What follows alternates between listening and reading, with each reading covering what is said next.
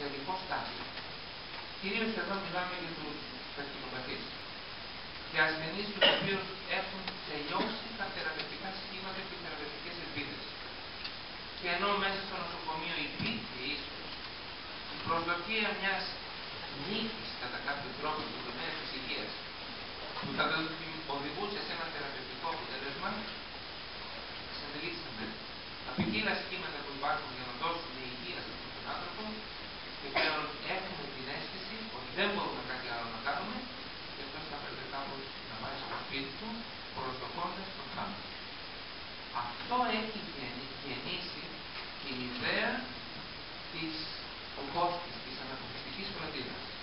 Και επειδή έχω μια εμπειρία πάλι νοπή, δεν θα επεκτικά να σας μιλήσω, όπως και προηγουμένως μέσα από την καρδιά μου. Τι σημαίνει λοιπόν ότι δεν μπορούμε να δώσουμε θεραπεία, αλλά μπορούμε να προωθήσουμε έναν άνθρωπο, τον οποίο θα τον πάρουμε στην αγκαλιά μας και σχεδόν σίγουρα θα τον οδηγήσουμε εμείς στον τάφο και στον θάνατο και στον τάφο. Δεν υπάρχει μέσα σε αυτό η χαρά ότι δώσαμε ζωή. Υπάρχει μια άλλη μεγάλη χαρά ότι μπορούμε να δώσουμε αγάπη. Και μπορούμε να πάρουμε αισθήματα από αυτόν τον άνθρωπο. Να καταθέσουμε σεβασμό, να δώσουμε την καρδιά μα. Μέσα σε αυτή την κατάσταση υπάρχει μια ιστορία προτιμάτων. Τα hospices και η ιδέα αυτή τη αναπτυξιακή φροντίδα γεννήθηκαν στο, στο, στη μέση του περασμένου αιώνα από αυτή την ανάγκη να δοθεί μια απάντηση στην πρόκληση τη ευθανασία. Έναν άνθρωπο δηλαδή που τον βλέπουμε να καταραίει φυσικά και ψυχικά. Και τελικά να φτάνει στην κατάσταση αυτή που διαβάζουμε στο βιβλίο του Λεωνάρου. Ότι κρίσονται από κανεί. Δεν μπορώ άλλο τη ζωή μου. Δεν την αντέχω. Αντί να δούμε πώς θα υπαχώσουμε σε αυτό το, το αίτημα που έχει μέσα από την καρδιά του, μήπως μπορούμε να δημιουργήσουμε άλλους όρους και άλλες συνθήκες που πραγματικά να δώσουν την ιδέα, να οδηγήσουν την ιδέα της ευθανασία σε μια κατάρρευση. Και φαίνεται ότι δούλεψε και δουλεύει. Υπήρχε μια πολύ ενδιαφέρουσα προσωπικότητα που συνέβησε το όνομά της με αυτή την ιδέα τη λεγόμενη συνιστόνισσα.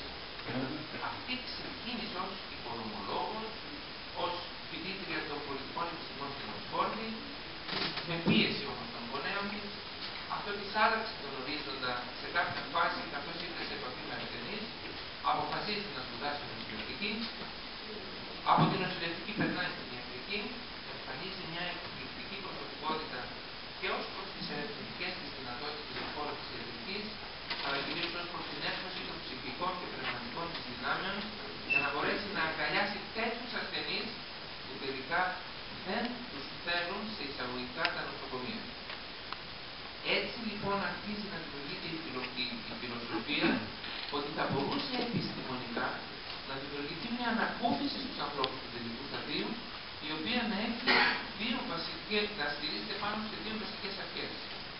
Η πρώτη αρχή ότι δεν υπάρχει πόνο που να μην αντιμετωπίζεται, δηλαδή ότι πρέπει πάση θυσία να βρεθεί ένας τρόπος με τον οποίο να καταπολεμηθεί ο πόνος ο οποίος συντρίβει τον άνθρωπο και τον καταστρέφει και η δεύτερη αντιμετώπιση της καταστάσεως αυτής να γίνεται ολιστικά.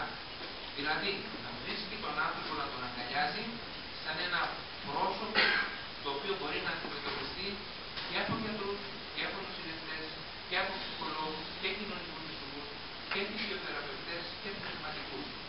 Για να μπορέσει να δώσει ζωή στον άνθρωπο αυτό που βρίσκεται σε αυτή την κατάσταση, που αυτή η ζωή που θα δημιουργείται ως ανακούφιση, στην ουσία να του δημιουργήσει την αξιοπρέπεια και την ποιότητα την οποία του προσωπά και απαιτεί. Πάνω στη λογική αυτή λοιπόν, ήδη υπάρχουν 227 τέτοια ιδρύματα στην Αμερική και 13.900 υπό μια εναλλακτική μορφή στην Αμερική και σε 90 χώρες. Εμείς αποφασίσαμε με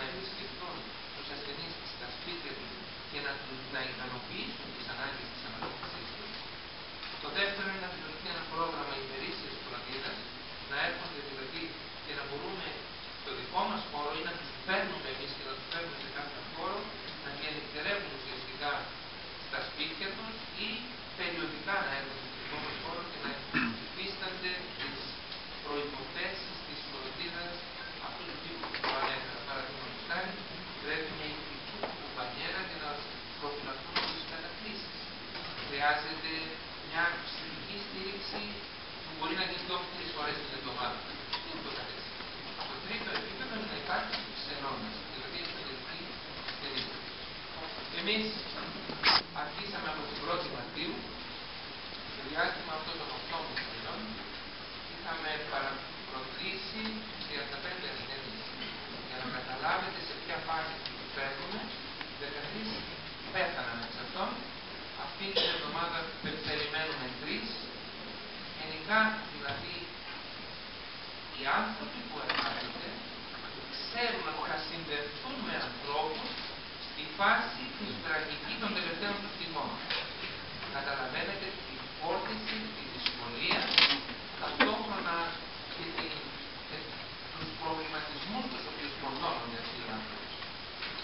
λοιπόν το ξεκινήσαμε εμείς και από αυτό εγώ θα καταθέσω το προηγούμενο 7-8 μετά που μάθω μείνει την κλιματική μου εμπειρία δεδομένου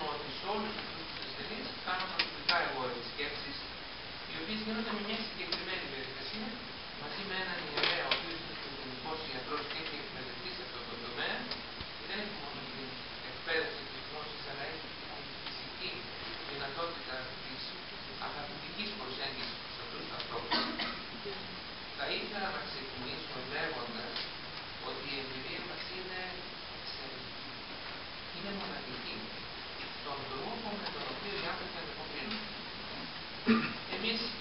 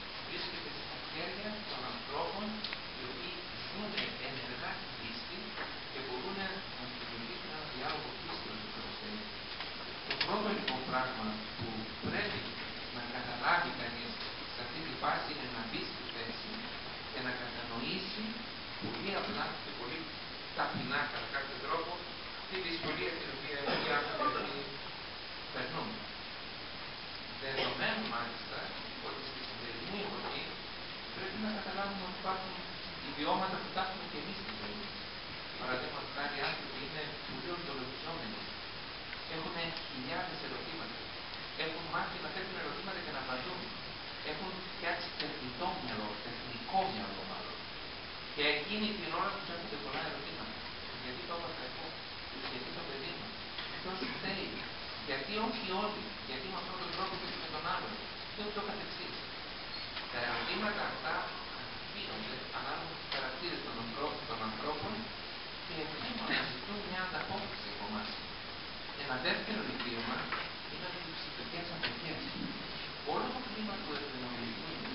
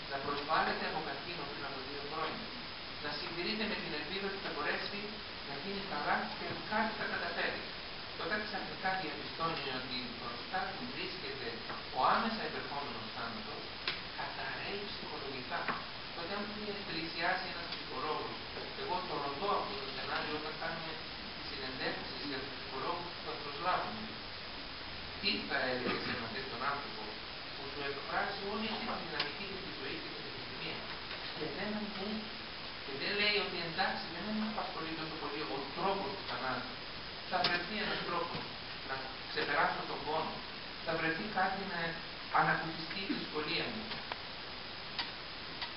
Εν πάση περιπτώσει θα φύγω τελικώς και θα τελειώσει. Αυτό που δεν αντέχω είναι το τέρμα, το άγχος, το ότι δεν θα ξαναδώ τα δικά μου πρόσωπα, το ότι αισθάνομαι ότι ίσως πηγαίνω στο μηδέν, ότι εξαφανίζομαι, δεν αντέχω την ανυπαρξία μου. Τι θα απαντήσετε εσείς, λέω σε μια ψυχολόγο. Μου λέει μία, γεια σου, έχετε λοιπόν, είμαι εγώ εδώ.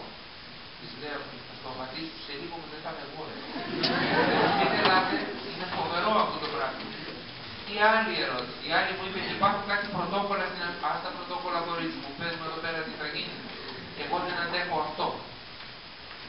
Βέβαια θα μπορούσε να εμφανιστεί ένας παπάς που να κάνει πολύ μεγάλη ζημιά στη συγκεκριμένη περίπτωση και θα αναφερθώ στη συνέχεια. Απλώς σας περιγράφω πώς η διαχείριση του θανάτου είναι ένα όπλο σε εμάς, ιδίως τους ανθρώπους που έχουν σπέρματα φυσιολογικά μέσα.